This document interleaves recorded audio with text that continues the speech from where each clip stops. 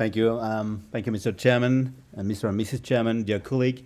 Uh, and I thank the organizer to have invited me to try to share with you uh, some of uh, something about tracheal surgery topics. So uh, I've, uh, I have no conflict of interest, uh, lucky me. So what is important to understand that I think lots of people know in this, in this room that trachea is more than a fabric. Uh, it's uh, in fact nearly an organ with its own vascularization, its own biomechanic. It's a very complex, its uh, localization, cervical, mediastinal. so it's something much more complex. And the, the rationale to replace trachea has been defined a long time ago by Hermes Grillo. Uh, it's uh, supposed to be something well vascularized, uh, autologous with longitudinal flexibility, transverse rigidity that can face uh, the negative inspiratory pressure to resist to expiratory pressure. And uh, it has to have something looks like bronchial epithelial surface to be able to clear secretion. And it is supposed to not to be a demanding procedure. So that is in the ideal world. You're going to see that in the end we have not uh, fulfilled completely that. When you want to resect tracheal, there's a lot of rationale. You have to uh, have a very precise pre-op strategy. You have to do, according to uh, the team I work with, a circumferential resection of the lesion. Uh, you have to have well, well vascularized and floppy anastomosis. It's a general rule. And you have to, uh, uh, to deal with the ventilation during surgery. And extracorporeal life support is uh, rarely indicated. Uh, stent and dilatation are only palliative therapies uh, to maybe come to that surgery, but it is palliative, always. The anesthesia and ventilation has got some rules. Uh, we used to try transthoracic uh, intubation most of the time, and we do like in uh, carinal resection that has been shown by Professor Venuta, we do intubation through the operative field. We don't use eye, uh, eye uh, jet ventilation. I have no experience at all, so I can't tell you why. And uh, the idea is that after this surgery, the patient has to be extubated in the operating room or very soon after. It's a, a, a general rule for tracheal surgery. And these patients, they're, they're going to have lots of endoscopic control during surgery, afterwards surgery, and some, uh, some years after, sometime. When you remove some trachea, you need uh, to have to, to release uh, the part, distal or proximal part of the trachea. Neck flexion is not very expensive, uh, and you can do that. When you remove much more, you can do an extreme neck flexion. You need two pillows over one. It's not very expensive. Uh, you always do when you do surgery uh, an anterolateral tracheal finger release always like you, you don't even mention it in the in the paper but everybody does that and it, it's a good beginning to uh, to release trachea and when you need more, you can do a, a laryngeal release uh, like Dedo uh, or a suprahyoid laryngeal release Montgomery. And very infrequently, uh, hilar release, I think uh, we've done it once or twice in our experience, so really it's not very helpful. With that, when you combine all these media, you can remove 55% of the trachea then you have to uh, do anastomosis. Not very interesting if you do a running suture or not. Really, it's, uh, uh, it depends what you believe in.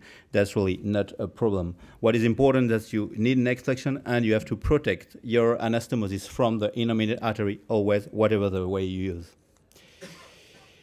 According to uh, to us, uh, the principal uh, contraindication to resection are uh, uh when you uh, there is an, uh, an extensive level of the airway where you can't resect without attention in the end, when you've got a, a massive invasion of the mediastinal uh, organs that you can't remove, or are remote metastasis. And I like this to quote again Hermes Grillo, uh, who has a very uh, uh had a, fantastic experience, and he said sometimes you can do very uh, ex extreme thing, even patient with metastasis, but in the end he said he usually prefer to embark upon tracheal resection and reconstruction where there is a stench of cure. I think it's a good idea. So in fact, in the end, when you've, you've removed a lot of trachea and you have tried everything you want, and there is, you remove more than 55% of the trachea, in fact, you just can't uh, do a, a direct anastomosis you are in this situation. Usually, whatever the size we are, whatever the long uh, length of our neck, we have all in this room uh, uh, 11 centimeter. I, sorry, I didn't, it in inches uh, trachea.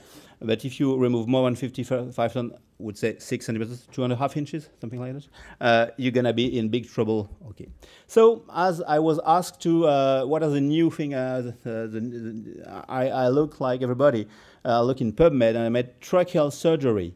Uh, and for the last five years, the publication, and I was surprised to see only 15 uh, Uh, papers. And the, the, last paper, in fact, the uh, more ancient, was from uh, Mr. Venuta Timms, uh, who said in the in the end of his, his abstract, uh, said that uh, surgery, tracheal surgery, was uh, part of the thoracic surgery. Of course, was everyday surgery, and in the near future, there there would be some place for tracheal transplantation on bioengineering of the trachea. so it was two dances he, he, he had imagined. So let's see about that. So when you want to replace trachea, uh, surgeons, head neck, thoracic surgeon, vascular surgeon, plastic surgeon, they have invented lots of things to replace trachea. In fact, all substitute used for trachea, they doesn't work. Uh, cadaveric trachea transplantation, prosthesis, lots, all, all has been tried. Lots, lots of these, these things have failed. Uh, let's say for prosthetic devices, they generate stenosis and granuloma, infection, and erosion of adjacent organs. And what are adjacent organs? For example, uh, the innominate artery, and when it's eroded, it's a it's kind of problem. What about the uh, allogenic transplantation, tracheobronchial transplantation. It's uh, it has been uh, it has been done uh, in the laboratory uh, in Marie-Lannelongue uh, with on pigs. So uh, we have tried it. it's it's a very demanding procedure. It's you have to deal with infection. You have to deal with immunosuppressive therapy. And why is it so demanding? You you we change lung, heart, lung, even intestine. Why is it a problem? It's a problem because trachea is not fabric. Uh, it's more than an organ, but it hasn't. Uh, it has no. Uh, uh there is no tracheal artery, uh, upper, lower tracheal artery. Its its arterial vascularization is much more complex. It came from the esophagus McNeil.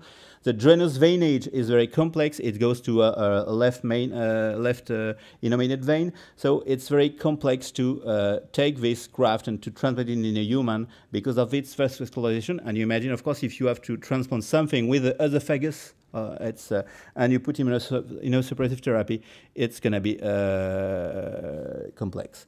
So when you look again at PubMed, you say transplantation last five years. You find six papers, and all these papers are uh, a research paper. There is no uh, no uh, no publication on human. So this, I think, this transplantation is is a dead end, and it won't. I'm not sure it's going to be a solution one day. So another uh, solution uh, it has been very it's to use an, an allogenic fresh aortic graft and you put stents and you replace trachea and you imagine that this aorta is going to become a trachea. This would have been a, a very controversial uh, work of uh, one uh, French colleague, uh, Emmanuel Martinod, and he was very happy to show it works. And but in fact, there's a um, Dr. Tsukada was taken this, uh, this work and on chip. And in fact, it proves that this, uh, it's not aorta that's become trachea. Aorta shrinking and the trachea came to its place. Look, in fact, it's, uh, it doesn't work. It's interesting, but it doesn't work. Despite these results and this controversy, it has been uh, used nearly the same uh, technique on human uh, with eight patients. Uh, by uh, uh, two French teams with four deaths, and the four not dead patients are still with a stent inside their aorta. So this solution is maybe not a good one.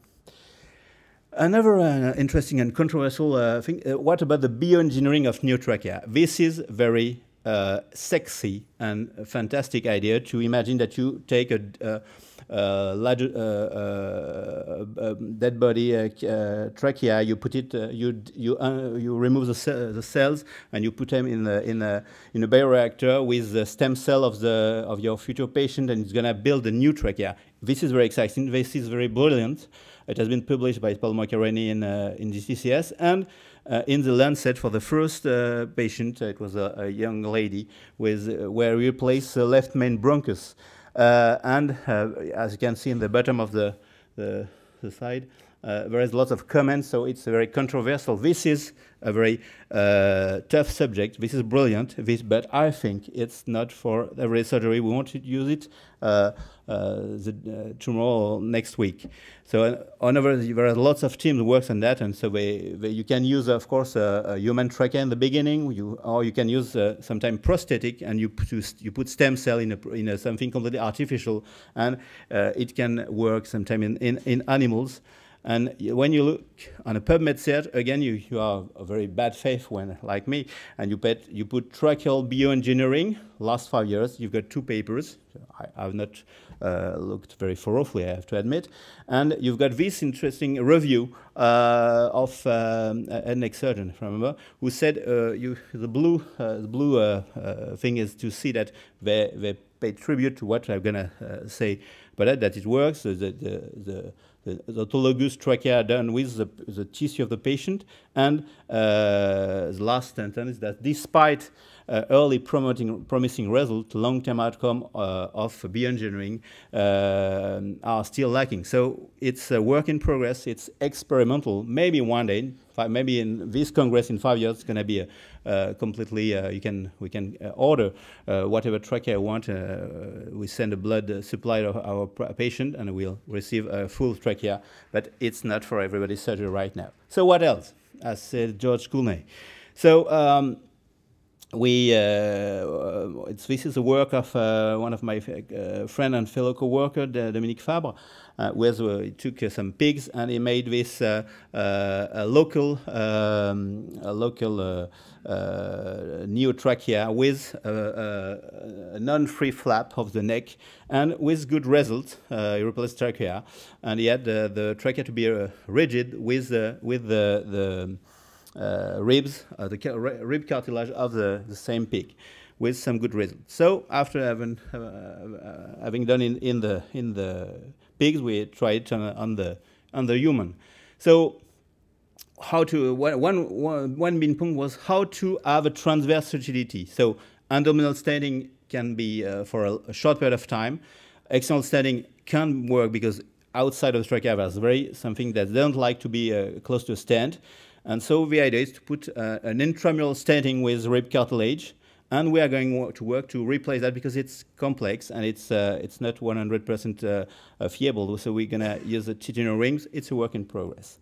So uh, what kind of flap we uh, the first we uh, the two first we tried was uh, were the anterolateral thigh free flap but it's very it's very thick and the forearm free flap called uh, uh, also known as Chinese flap even if the patient was from China but in fact was an American it's it's a very fantastic fasciocutaneous flap. You can it's it's you can use the forearm you it was a, it's an old flap. It was uh, described in 1982. And you use a, a fasciocutaneous flap with a radial artery and the radial veins too, and you can put it wherever you want. So uh, we used uh, we used so the intramural insertion of rib cartilage of the patient himself to, to do that. And where was that idea from? In fact, it was uh, again you you think you do some invention. And in fact, you reinvent something that has been invented by someone else. Usually, and, and this is Erken Erken in uh, very uh, in 1997 uh, who, who, described this to uh, to replace uh, half part of the larynx, uh, and he, he, used to this bony part of the to to have a rigid collar. So that's where Dr. Kolb, Frédéric Kolb, a brilliant plastician where we we've done we do with surgery, who had give us this idea. You can see this little movie here. This is a, a, a normal trachea of uh, pig. This is a PTFE, and this is a neo-autologous trachea of the pig with its, and you can see that it resists to the depression of the inspiration. So that this is uh, this work. This is working. So you've got the technique to, to make a, a old trachea for a human, uh, uh, an adult uh, person. You need uh, uh, something that is 12 centimeter long, 9 centimeter large to have a, to make a, a, um, a tube. So you you you do the you you do the take the fasciocutaneous flap, and then you you use the last the, the common cartilage of the rib, the left or right, whatever, you, and you you cut these slices of uh, of uh, cartilage, five millimeter uh, large, uh, three millimeter thick, and you're gonna uh, insert it inside the inside, uh, you need nine of it. You, uh, you're gonna insert inside subcutaneously uh, in your graft. Then you're gonna roll uh, with the skin inside uh, around a stent to give the, the form, like the, the, the vena cava thing with the, the, syringe. And then you, you sew the, the, skin to the skin, the, the, the cartilage to the cartilage and you, this is the right result. And you do, of course, that with the graft implanted in the forearm, to, and you, uh, you, uh, you cut the vessel just before implanting them so that you don't have ischemic time, too long ischemic time. Then you remove the disease of the trachea and you, uh, you take the graft and you put it, you do the distal anastomosis first, then the proximal anastomosis, then you do the micro anastomosis with, you don't need microscope, you know, uh, magnifying glasses are enough. For example, you can put the artery, right artery, to internal, uh, left internal thoracic artery and uh, on the vein, on the left innominated vein. Sometimes there are two veins. This is the final result with anastomosis and you can see uh, this is a uh, you can see it from the point of view of the anesthesi anesthesiologist uh, with the neotrachea here, the the free flap pedicle, uh, with a nice result. We've done so far. Uh, I've just up to, in 2014 to have some uh, some some follow up, but so we start this in 2004, and with 16 first patients were achieved in 2013, 10 years. Uh, it was mostly primary tracheal neoplasm, mostly our adenocystic carcinomas, something that doesn't puzzle you. Uh, more uh, one thyroid carcinoma and two lymphomas. In fact, we uh, we didn't remove lymphoma and trachea. That there were people who had been treated surgically wrongly for a, lymph a lymphoma with a destruction of the trachea and were in the second position. And a very iatrogenic, fantastic history of a long, long history of tracheal stenting. I think this lady had received a 40 stents in 10 years and no, uh, with no trachea in the end. What kind of resection was done? So the full trachea six times, full trachea and main bronchi twice, not a good idea, and uh, a, a, total laryngectomy once, and uh, a, uh, a, total tracheal membrane wall uh, twice. It was, it was the beginning of her experience. Post-operative care is uh, is a little nightmare for the patient and the, and the physician, but uh, uh, it's worth uh, to do it. Uh, you need these people they will need antibiotics.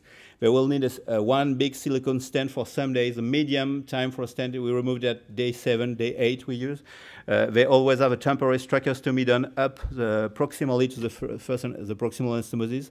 They will need physiotherapy, postural drainage, aerosol therapy fiber optic bronchi uh, uh, cleaning once or twice a day. And some of these people with uh, uh, carcinoma have received radiotherapy with no problem for the graft. What are the results? We had two uh, free deaths, one with necrosis of the, of the graft uh, that we, we've done with two, three times, and uh, two, two IRDS for the people, we, the two patients we, we, we replace the trachea and two main bronchi.